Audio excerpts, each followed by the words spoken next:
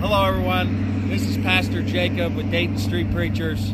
We're here to promote the Word of God on billboards today. Amen. Anybody can put up billboards. The only thing you have to do is you have to call and get estimates from the companies, and you have to uh, tell them you want to do multiple billboards, and then you can um, give them an offer. You know, and if they say no, they say no. If it's too high, it's too high. But you have to think like a businessman. You need to think like a business owner. When a business owner wants to advertise something, uh, they're not timid, they're not shy, they're not afraid. They say, hey, how much is this going to cost? How much for this billboard space? How much for this advertising space is this going to cost? And it's the same way with the Word of God. You got to be determined to get the Word of God out to your city in all ways.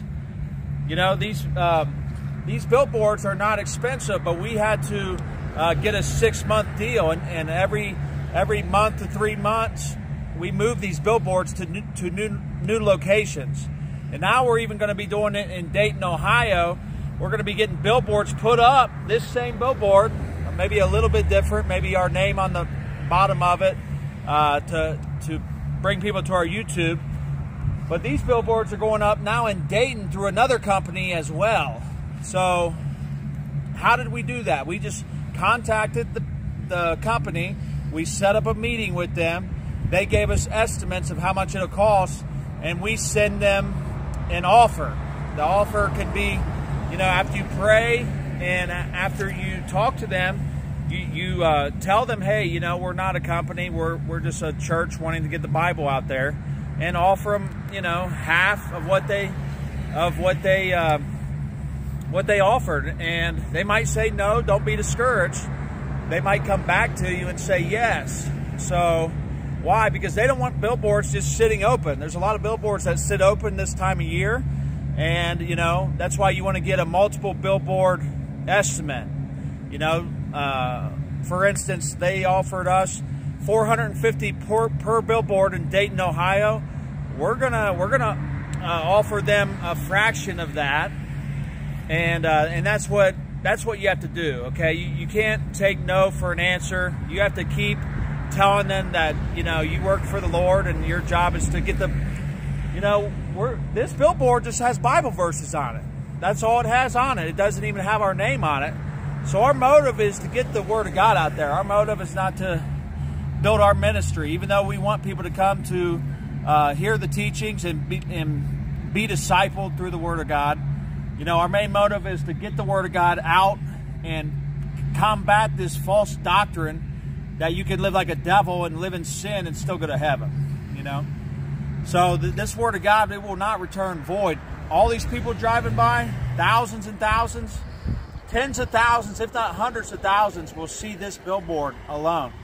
So, uh, and then every month to three months, we move it to a new location and it affects the whole area it's on everybody's conscience, you know, because we're praying over these billboards too. And we're praying, we're interceding for these cities.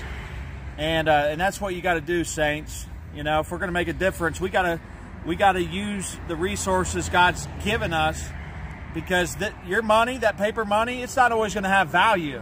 Sooner or later, that stock market and, and, and this economy is going to go bankrupt. That's why Jesus called money, he called it unrighteous mammon. He called uh, he called it filthy lucre. See, you got to use what God gives you for the kingdom of God, and uh, you should be zealous to give money into these into these uh, good works. So use what God's given you, saints. Get these billboards up in your town. You we'll give you the you can put this exact billboard up, you know, and you can put. Uh, you know, your ministry on the bottom of it if you want. If you want to point people to something uh, good where they can listen on on YouTube or on Facebook or something or whatever you got going on. You know, if not, you can just put this up. That's what we're doing. We're just putting the Word of God up. We have no ulterior motives. So uh, you can do this in your town, and but but you got to start getting estimates. You got to start reaching out, and you got to start being bold for Jesus, because time's winding up, and and your work is going to be found I don't want your, your work to be found undone, saints. I want you to be uh, occupying until the Lord comes. Because he's coming back. And he's looking for people to be doing His will when He gets here. So, God bless you. Be fruitful and multiply. Get God's word out there. It won't return void. God bless you all. Yeah, and I'm there we go.